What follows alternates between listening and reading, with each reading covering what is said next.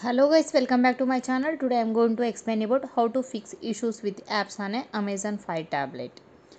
Follow the steps to repair issues with the apps if it crash or won't open on your amazon fire tablet. Before you going to start your device needs to be fully charged and your device needs to be connected to the same wi-fi network. I'll explain here few methods. That is one by one you people uh, then try. It's not working then try another method. Then keep on trying. I'll explain the few methods here. That is first one is turn off parental control. For this first step is swipe down from the top of the screen. Tap settings. Tap parental controls. If parental controls are on tap off.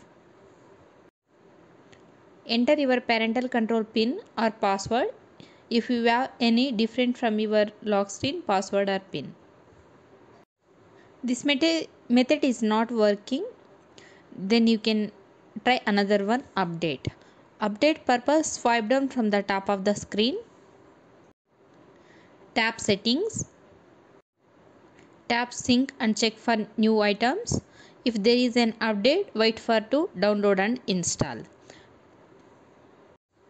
still your app is not working. Then force stop app and clear data. I'll explain here. Please follow that. For this first step is swipe down from the top of the screen. Tap settings. Tap applications. Tap installed applications. Select the app that you want to stop. Tap force stop Tap OK to confirm. Tap clear data. Still it's not working then uninstall the apps. I'll explain for how to uninstall. If a paid app is uninstalled, you want to download it again.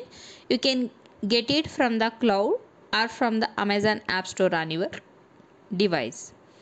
To uninstall from manage applications, first step is Swipe downwards from the top side of the screen.